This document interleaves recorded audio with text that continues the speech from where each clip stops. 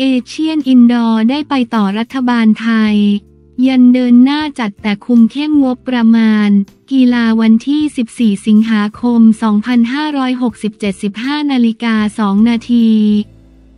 เอเชียนอินดอร์และมาเชียลอาร์ตเกมครั้งที่ 6 ได้ไปต่อรัฐบาลไทย ยืนยันชัดเดินหน้าจัดแข่งแต่คุมเข้มงบประมาณอย่างเหมาะสมและโปร่งใส นายจิรวัตรอรัญญการนนท์ ที่ปรึกษารัฐมนตรีว่าการกระทรวงการท่องเที่ยวและกีฬา เปิดเผยว่าตามที่มีกระแสข่าวว่ากระทรวงการท่องเที่ยวและกีฬา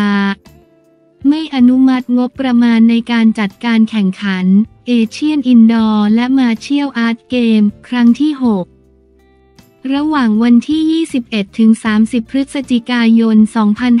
2567 ที่กรุงเทพมหานคร และชนบุรีนั้นจากการหารืออย่างไม่เป็นทางการกับเลขาธิการโอลิมปิกแห่งประเทศไทย และสภาโอลิมปิกแห่งเอเชีย OCA ที่ประเทศฝรั่งเศสเมื่อวันที่ 27 กรกฎาคม มีข้อเท็จจริงดังนี้หนึ่ง รัฐบาลไทยโดยกระทรวงการท่องเที่ยวและกีฬายืนยันที่จะจัด AIMAG แต่ต้องดูแลให้มีการใช้จ่ายงบประมาณอย่างเหมาะสมกับจำนวนนักกีฬา เนื่องจากเป็นการจัดภายหลังกีฬาโอลิมปิกเพียง 3 เดือน 2 OCA เป็นผู้เสนอให้มีการปรับลดชนิดกีฬาลง 14 ชนิดกีฬา โดยเลขาธิการ OCA ได้มีหนังสือยืนยันอย่างเป็นทางการมายังกระทรวงการท่องเที่ยวและกีฬา การปรับลดชนิดกีฬาดังกล่าวมิใช่มาจากข้อเสนอของกระทรวง ตามที่เป็นข่าวเมื่อได้รับแจ้งการปรับลดชนิดกีฬาลงรัฐมนตรีว่าการกระทรวงการท่องเที่ยวและกีฬา ก็ได้สั่งการให้การกีฬาแห่งประเทศไทย กกท พิจารณาปรับลดงบประมาณให้สอดคล้องกับข้อเท็จจริง โดยเฉพาะให้สอดคล้องกับจำนวนชนิดกีฬาที่ลดลงถึง 14 ชนิดตามข้อเสนอของ OCA รวมถึงจำนวนนักกีฬาและผู้เข้าร่วมการแข่งขัน ซึ่งขณะนี้อยู่ระหว่างการพิจารณาปรับลดของ กกท 3. เนื่องด้วยสภาพเศรษฐกิจปัจจุบันจำเป็นต้องพิจารณาให้รอบคอบ เพื่อให้การใช้งบประมาณ ซึ่งมาจากภาษีอากรของพี่น้องประชาชนเกิดประโยชน์ คุ้มค่าและโปร่งใสที่สุดสีเพื่อให้ได้ข้อยุติอันนำมาสู่ความเข้าใจร่วมกัน รัฐมนตรีว่าการกระทรวง กิโลกรัมได้กำหนดให้มีการจัดประชุมคณะกรรมการจัดการแข่งขัน AIMAG ในวันจันทร์ที่วันที่ 19 สิงหาคม 2567แน่นอนที่สุดว่าการเตรียมการจัดการแข่งขันรวมถึงค่าเก็บตัวฝึกซ้อม AIMAG ซึ่งได้เบิกจ่ายงบประมาณไปแล้วกว่า 800 ล้านบาทในระยะเวลา 4 ปีที่ผ่านมาและที่จะต้องใช้จ่ายต่อไปอีกหลายร้อยล้านบาท จะต้องสามารถถูกตรวจสอบถึงความโปร่งใส ปราศจากการทุจริตจากหน่วยงานที่มีหน้าที่ในการตรวจสอบอย่างแน่นอน ไม่ว่าจะเป็นการใช้จ่ายโดยองค์กรใดก็ตาม นายจิรวัตรกล่าวอันหนึ่ง นายชัยพัฒน์สิริวัตรรองประธาน OCA ชาวไทย และรองประธานคณะกรรมการโอลิมปิกแจ้งสาระสำคัญเมื่อวันที่ 13 สิงหาคมที่ผ่านมาว่าในวันที่ 15 สิงหาคมเวลา 15 นาฬิกา OCA เรียกประชุมคณะกรรมการบริหารธุรกิจรูปแบบออนไลน์วาระเร่งด่วนหารือเรื่องการเป็นเจ้าภาพเอเชียนอินดอร์และมาเชียลอาร์ตเกม ครั้งที่ 6 ของประเทศไทย ซึ่งนายชัยพักตั้งข้อสังเกตชัดเจนว่า OCA ไม่พอใจการทำงานที่ล่าช้าของประเทศไทย และมีความเป็นไปได้ที่จะยกเลิกการจัดการแข่งขันเอเชียนอินดอร์และมาเชียลอาร์ตเกมครั้งที่ 6 ซึ่งนั่นทำให้ไทยอาจโดน OCA แบนในเกมอื่นๆ ของ OCA โดยเฉพาะเอเชียนเกม ครั้งที่ 20 หรือไอจินาโงยะ 2026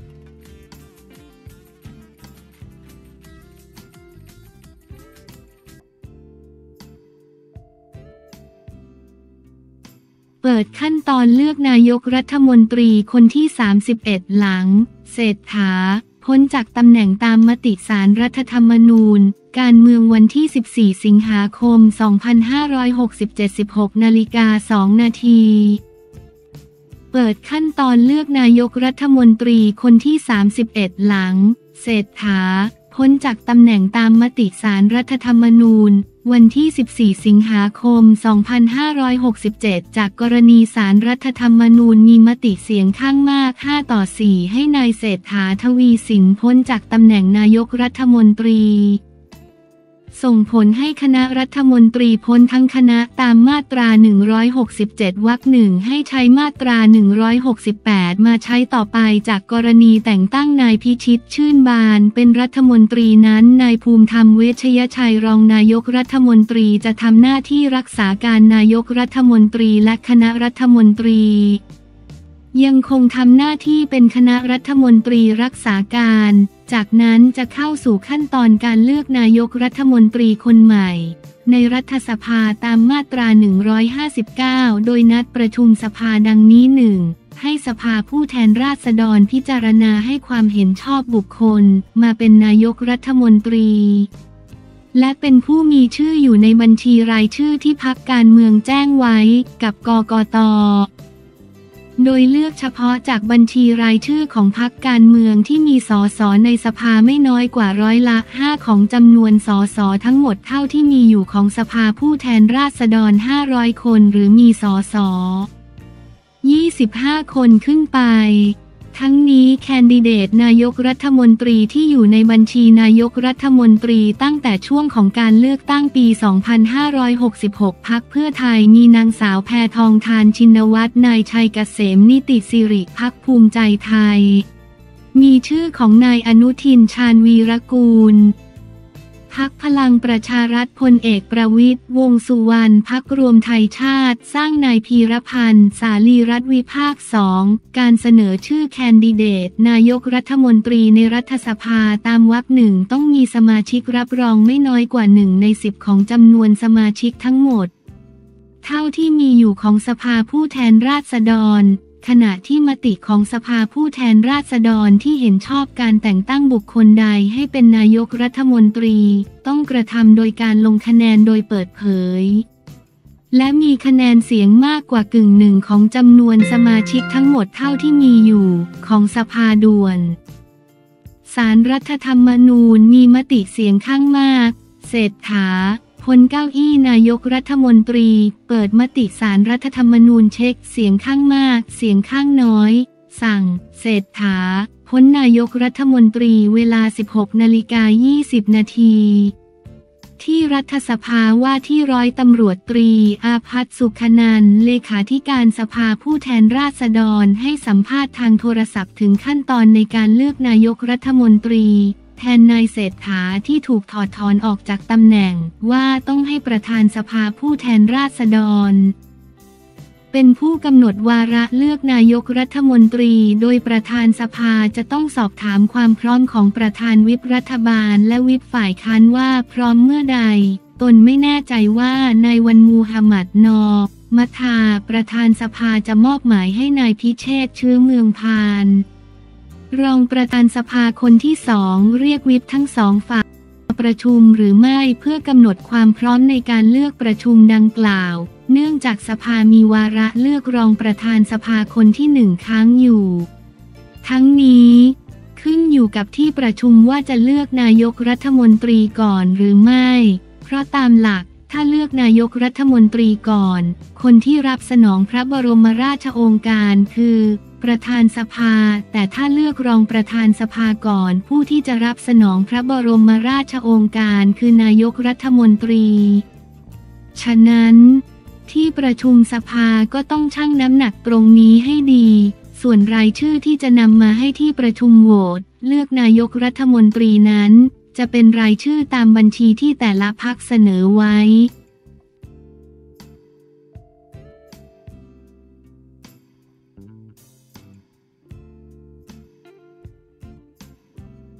ดรอารักษ์ชีสมเกียรติต้องใช้เวลา 2 ปีเก็บความเก่าบนเวทีระดับโมโต GP กีฬาวันที่ 14 สิงหาคม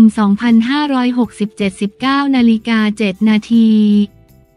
ดรอารักษ์พรประภา ประธานบริษัทไทยฮอนด้าจำกัด เผยสมเกียรติจันทราคงต้องใช้เวลาสองปีเตรียมประสบการณ์บนเวทีระดับโมโต GP ตามที่มีกระแสข่าวว่า ก้อง สมเกียรติจันทรา นักบิดรถจักรยานยนต์ชาวไทยจากสังกัดอิเดมิตสึฮอนด้าทีมเอเชีย ซึ่งปัจจุบันแข่งจักรยานยนต์ทางเรียบชิงแชมป์โลก รุ่น Moto2 จะก้าวขึ้นไปขับรุ่นใหญ่อย่างโมโต GP ในฤดูกาล 2025 กับทีม LCR Honda LCR ฮอนด้าแทนที่ของทาคาอากินาคากามิ นักบิดญี่ปุ่นที่เตรียมโยกไปแข่งเวิลด์ซูเปอร์ไบค์ล่าสุด ดรอารักพรประภาประธานบริษัทไทยฮอนด้าจำกัด เผยว่าเกี่ยวกับเรื่องดังกล่าว ตอนนี้ยังอยู่ในขั้นตอนการหารือว่าจะส่งสมเกียรติขึ้นไปแข่งโมโต GP หรือไม่ เมื่อมีการตัดสินใจแล้วจะมีการประกาศให้ทราบอย่างเป็นทางการ อย่างที่ทราบว่าสมเกียรติไม่เคยมีประสบการณ์ในการแข่งรุ่นใหญ่อย่างโมโต GP มาก่อน